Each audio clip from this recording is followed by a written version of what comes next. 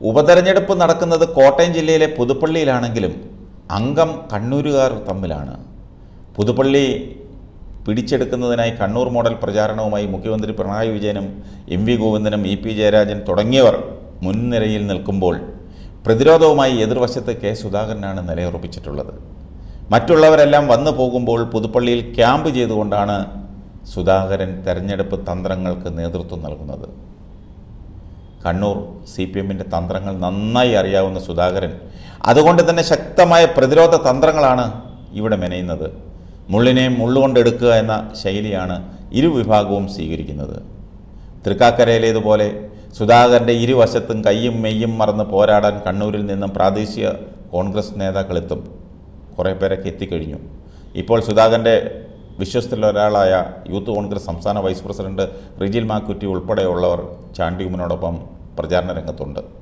M L എമാരായ Sajeev ജോസഫും സണ്ണി ജോസഫ് എന്നിവരും വരും ദിവസങ്ങളിലെത്തും. Kannur D C C president Martin George mayor T O Mohanan എന്നിവരുൾപ്പെടെയുള്ള വൻ നിര തന്നെ പുതുപ്പള്ളിയിൽ പ്രചാരണത്തിനിറങ്ങുമെന്നാണ് ലഭിക്കുന്ന വിവരം.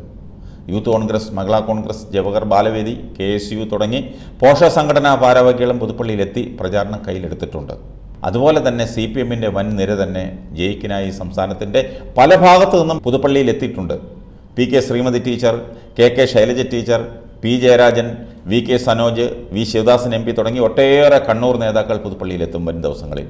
ഇതോടെ പുതുപ്പള്ളിയിൽ ഉമ്മൻചാണ്ടി സ്മരണയിൽ ഇ സി വാക്ക് ഓവർ പ്രതീക്ഷിച്ച കോൺഗ്രസിനെ ജയിക്കാനായി ഒരുപാട് വിയർപ്പൊഴുക്കേണ്ടി വരും. ഒരു സംശയവുമില്ല. ഇപ്പോൾ തന്നെ തെരഞ്ഞെടുപ്പ് ചിത്രം മാറിത്തുടങ്ങി സഹതാപ തരംഗത്തിനെ മറികടക്കാൻ വികസന മുദ്രാവാക്യം ഇടത് ക്യാമ്പുകൾ ഉയർത്തിയതോടെ കോൺഗ്രസ് തീർത്തും പ്രതിരോധത്തിലായിരിക്കുകയാണ്.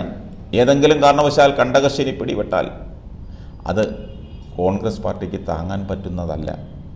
കഴിഞ്ഞ തവണ ഉമ്മൻചാണ്ടി നേടിയതിനേക്കാൾ ഒൻപതിനായിരം വോട്ട് മറികടന്ന് ഭൂരിപക്ഷം മുപ്പതിനായിരത്തിലധികം എത്തിക്കുമെന്ന് ചാനൽ ചർച്ചകളിൽ ഗീർവാണം മുഴക്കിയ കോൺഗ്രസ് നേതാക്കൾ ഇപ്പോൾ നിശബ്ദരാണ്. ചാണ്ടി ഉമ്മൻ ജയിക്കുമെന്ന് ഉറപ്പിച്ച് പറയാനും അവർ തയ്യാറല്ല. കോൺഗ്രസിന് ആത്മവിശ്വാസം ചോർന്നു പോകുമ്പോൾ വർദ്ധിത വീര്യത്തോടെ ആഞ്ഞടിക്കുകയാണ് സി പി എം. മണ്ഡലത്തിലെ ബഹുഭൂരിപക്ഷം പഞ്ചായത്തുകളും ആറ് ബ്ലോക്ക് പഞ്ചായത്തുകളും ഇടതുമുന്നണിയുടെ ഒപ്പമാണ്. കഴിഞ്ഞ അരനൂറ്റാണ്ടിലേറെ നീണ്ടു നിന്ന ഉമ്മൻചാണ്ടി മാജിക് ഇല്ലായിരുന്നുവെങ്കിൽ സി പി എമ്മിന്റെ ഉറച്ച മണ്ഡലമെന്ന ഖ്യാതി പുതുപ്പള്ളിക്കും നേരത്തെ കിട്ടിയേനെ. ഉമ്മൻചാണ്ടിക്കും കുടുംബത്തിനുമെതിരെയുള്ള വ്യക്തിപരമായ പരാമർശങ്ങളും ചികിത്സാ പിഴവുകളും സോളാർ ആരോപണങ്ങളും പ്രചരണ വിഷയമാക്കാതെ വെറും വികസന മുദ്രാവാക്യം മാത്രമാണ് എൽ ഡി എഫ് ഉയർത്തിക്കാട്ടുന്നത്. പുതുപ്പള്ളി മണ്ഡലത്തിന്റെ യഥാർത്ഥ അവസ്ഥ നേരിട്ടറിയുന്നവർക്ക് അതിൽ അതിശയോക്തി ഒന്നും തോന്നുന്നില്ല.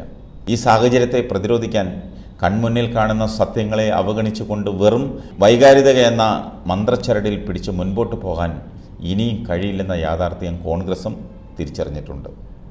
അതുകൊണ്ട് തന്നെ യുദ്ധസമാനമായ സാഹചര്യമാണ് പുതുപ്പള്ളിയിൽ കോൺഗ്രസും യു ഡി എഫും ഒരുക്കിയിട്ടുള്ളത്. ഉമ്മൻചാണ്ടി മത്സരിച്ച കാലത്തൊക്കെ മാണി ഗ്രൂപ്പിന്റെ വോട്ട് കിട്ടിയിരുന്നുവെങ്കിലും ഇപ്പോൾ ജോസ് കെ മാണിയുടെ പാർട്ടി എൽ ഡി എഫിനൊപ്പമാണ്. മാത്രമല്ല പതിറ്റാണ്ടുകളായി തുടരുന്ന സഭാതർക്കവും ഏറ്റവും വലിയ തലവേദനയാകുന്നത് കോൺഗ്രസിന് തന്നെയാണ്. ഉമ്മൻചാണ്ടിയുടെ അവസാന തെരഞ്ഞെടുപ്പിൽ വോട്ട് ഗണ്യമായി ചോർത്തിയത് ഇരു സഭകളും തമ്മിലുള്ള പോരാട്ടമായിരുന്നുവെന്നാണ് പലരും പങ്കുവെക്കുന്നത്. അതുപോലെ ബി ജെ പി പിടിക്കുന്ന വോട്ടുകളും ദോഷം ചെയ്യുന്നത് കോൺഗ്രസിന് തന്നെയാകും. ഇക്കുറി പാർട്ടിക്ക് ജയസാധ്യതയുണ്ടെന്ന് സി പി എം തിരിച്ചറിയുന്നു. നാൽപ്പത്തിരണ്ട് ശതമാനം വോട്ടാണ് കഴിഞ്ഞ തെരഞ്ഞെടുപ്പിൽ എൽ ഡി എഫിന് ലഭിച്ചിരുന്നത്. കോൺഗ്രസിലെ ചേരിപ്പോര് കാരണം ഉമ്മൻചാണ്ടിക്കൊപ്പം ഉണ്ടായിരുന്ന പലരും ഇന്ന് പാർട്ടിയോടൊപ്പമില്ല. മനസ്സിലാക്കണം. ഓർത്തഡോക്സ് വിഭാഗത്തിലുള്ള സ്വാധീനമുള്ള ഇവരുടെ വോട്ടൊക്കെ മറിയുന്നത് സി പി എമ്മിന് ഏറെ ഗുണം ചെയ്യും. തിരുവഞ്ചൂരും കെ സി ജോസഫും പ്രചാരണത്തിന്റെ മുൻപിൽ തന്നെ ഉണ്ടെങ്കിലും തൃക്കാക്കരയിലെ പോലെ സതീശിന്റെ പ്രവർത്തന മികവ് ഇവിടെയും ഉണ്ടാകുമെന്നാണ് അവരുടെ പ്രതീക്ഷ. സംഘടനാ സംവിധാനത്തിന്റെ ദൗർബല്യങ്ങളെ മറികടന്നുകൊണ്ടുള്ള മിന്നൽ വേഗത്തിൽ സ്ഥാനാർത്ഥിയെ പ്രഖ്യാപിക്കാനും ചാണ്ടിയുമനെ കൊണ്ട് ഒരു വട്ടം മണ്ഡല പര്യടനം നടത്തിക്കാനും കോൺഗ്രസിന് കഴിഞ്ഞു. അതൊരു യാഥാർത്ഥ്യമാണ്. ചുവരെഴുത്തുകളും വീട് കയറിയുള്ള പ്രചാരണങ്ങളും ഒന്നാം ഘട്ടം പൂർത്തിയാക്കിയതും ദിവസങ്ങൾക്കുള്ളിലാണ്. N S S general secretary G Sukumaran നായരെ ജയിക്ക് പെരുന്നേൽ പോയി സന്ദർശിച്ചുവെങ്കിലും എൻ എസ് എസ് വോട്ടുകൾ തങ്ങൾക്ക് തന്നെ വീഴുമെന്ന പ്രതീക്ഷയിലാണ് കോൺഗ്രസ്. രമേശ് ചെന്നിത്തലയെ ഇറക്കി എൻ എസ് എസിനെ സ്വാധീനിക്കാൻ കോൺഗ്രസ് ശ്രമിക്കുമ്പോൾ കെ ബി ഗണേഷ് കുമാറിനെ മുൻനിർത്തി വോട്ട് ചോർച്ച തടയാനാണ് എൽ ഡി എഫിന്റെ ശ്രമം. ഏതായാലും അംഗം മുറുകിക്കഴിഞ്ഞു. ഇനി കാത്തിരുന്ന് കാണാം.